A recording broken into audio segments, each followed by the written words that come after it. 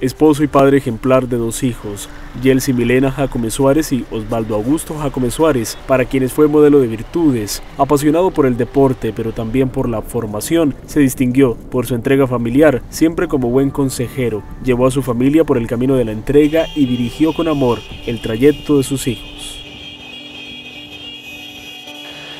Hay muchas anécdotas, Mario. Eh, mi papá siempre que íbamos en el carro, eh, siempre me hacía narraciones eh, deportivas con voz comercial.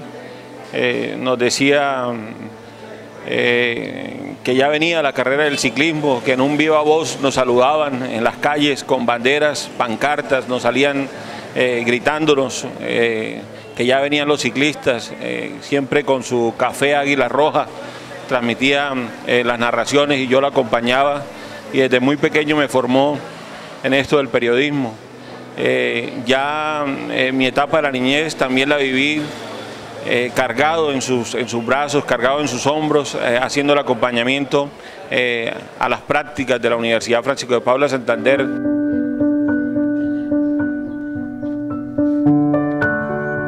El papá ejemplar que deja un legado en la educación de la ciudad y la región, pero que también la transmitía en casa, con virtudes y carismas, un hombre que inspiraba respeto y confianza un hombre intachable de valores, a quien jamás le escuchaste una mala palabra, ni en su momento más difícil de adversidad hubo una mala palabra, hubo un reproche, no.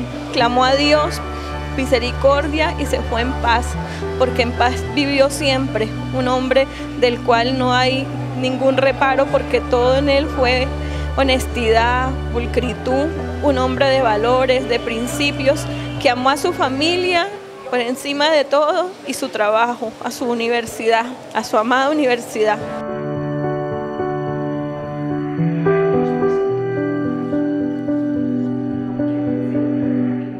De verdad, hoy pierde Ocaña a un hijo ilustre, a un gran baluarte, a una persona de mucho amor por los seres humanos, de mucho amor por su familia, de mucho amor por todos sus semejantes.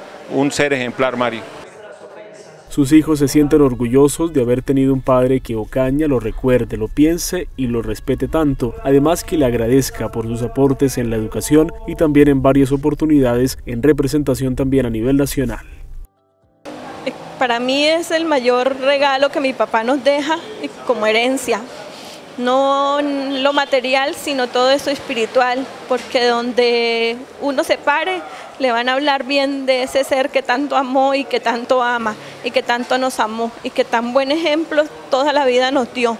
Siempre fue más que un padre, un amigo, un cómplice, mano amiga que te extendía en todo momento, un consejero, no solamente de nosotros, sino de propios y extraños. En la memoria de sus hijos y familiares queda el recuerdo de un hombre íntegro y con muchas cualidades que fueron brindadas a todos los suyos.